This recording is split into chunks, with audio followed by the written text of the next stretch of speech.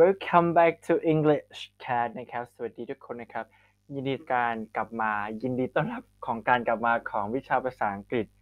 กับคุณครูนะครับกับทีเชอร์นัทนะครับ วันนี้ก็มาเจอกันในภาคเรียนที่ 2 แล้วนะครับ ที่เรามา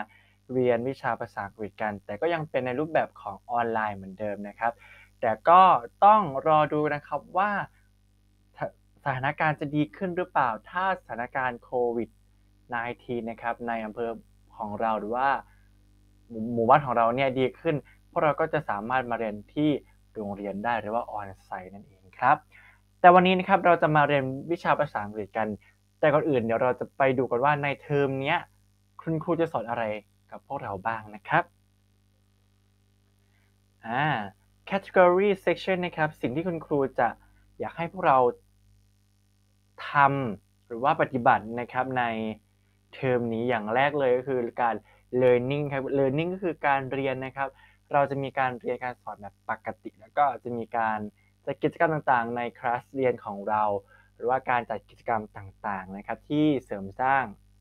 ภาษาอังกฤษของเราให้มันดีขึ้นแล้วก็สามารถใช้ประโยชน์ได้นะครับ ต่อมา practice นะครับคือการฝึกฝน เมื่อเราเรียนเสร็จแล้ว เราก็ต้องมีการฝึกฝนทบทวนอยู่สม่ำเสมอ เพื่อให้เกิดอะไรครับสุดท้ายก็คือ results ด้วยครับก็คือ เกิดผลลัพธ์นะครับในข้อที่3นะครับมีการเรียนรู้มีการฝึกฝนแล้วก็มีผลลัพธ์ที่ดี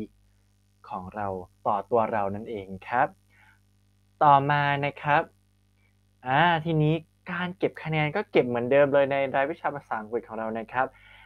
อ่า during class นะครับคือการเก็บคะแนนในระหว่างเรียนของเราจะเก็บเป็น 50 คะแนนนั่นเองครับก็คือคะแนนเก็บนะครับ มาจากอะไรเอ่ย50 คะแนน ก็มาจากคะแนนส่งงานแล้วก็การเข้าเรียนของพวกเราทั้งหมดเลยนะครับ ต่อมาการสอบ midterm จะเก็บอยู่ที่ 20 คะแนนนะครับ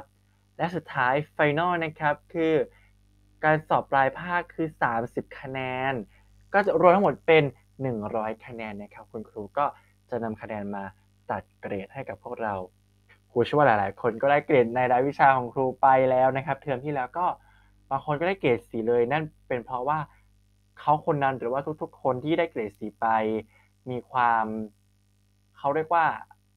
ขยันที่จะเข้ามาเรียน ถึงแม้ว่าบางคนที่จะไม่ได้เกรดสีก็ไม่ได้แปลว่าจะไม่ขยันนะครับ แต่เราต้องฝึกฝนตัวเองแล้วก็ทันต่อสถอ่าสถานการณ์ การเปลี่ยนแปลงต่างๆทำให้เราทันต่อสังคมแล้วก็ทันต่อเวลานั่นเองครับ โอเคครับ คุณครูก็จะขอจบ การเรียนในวันนี้เพียงเท่านี้นะครับ เดี๋ยวเราจะไปเจอกันในสัปดาห์หน้า สัปดาห์นี้ก็ยังจะไม่มีการสั่งงานอะไรนะครับ เพราะว่าเราจะไปรับงานหรือว่าไปดูงานในสัปดาห์หน้ากันนะครับ โอเค วันนี้ today I would like to say goodbye to everyone สวัสดีครับ เราเจอกันใหม่กันในครั้ง เราเจอกันใหม่อีกครั้งนะครับ see you again next time